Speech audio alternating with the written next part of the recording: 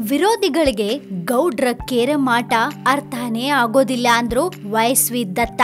ದೇವೇಗೌಡರು ತಮ್ಮ ರಾಜಕೀಯ ಜೀವನದಲ್ಲಿ ಎಷ್ಟೋ ಚುನಾವಣೆಯನ್ನ ಎದುರಿಸಿದ್ದಾರೆ. ತುಮಕೂರಿನ ಒಂದು ಸೋಲಿನಿಂದ ಅವ್ರನ್ನ ಮೂಲೆ ಗುಂಪು ಮಾಡೋಕೆ ಸಾಧ್ಯನೇ ಇಲ್ಲ ಅಂತ ಜೆಡಿಎಸ್ ಮುಖಂಡ ವಕ್ತಾರ ವಯಸ್ವಿ ದತ್ತ ಹೇಳಿದ್ದಾರೆ. ನಗರದಲ್ಲಿ ಮಾತಾಡ್ತಿದ್ದ ದತ್ತ, ನಮ್ಮ ನಾಯಕ ದೇವೇಗೌಡರ ಕೇರಂ ಬೋರ್ಡ್ ಆಟ ನಮ್ಮ ಪಕ್ಷದವ್ರಿಗೆ ಗೊತ್ತಾಗೋದಿಲ್ಲ.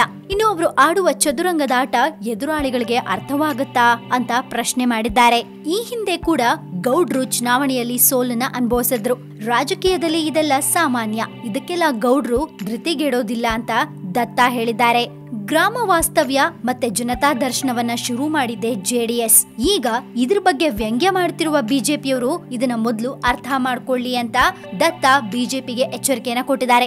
ಎಲ್ಲಿ ಕಳ್ಕೋತೀವೋ ಅಲ್ಲೇ ಗಳಿಸ್ಕೋಬೇಕು ಅನ್ನೋದು ದೇವೇಗೌಡರ ಹಠ.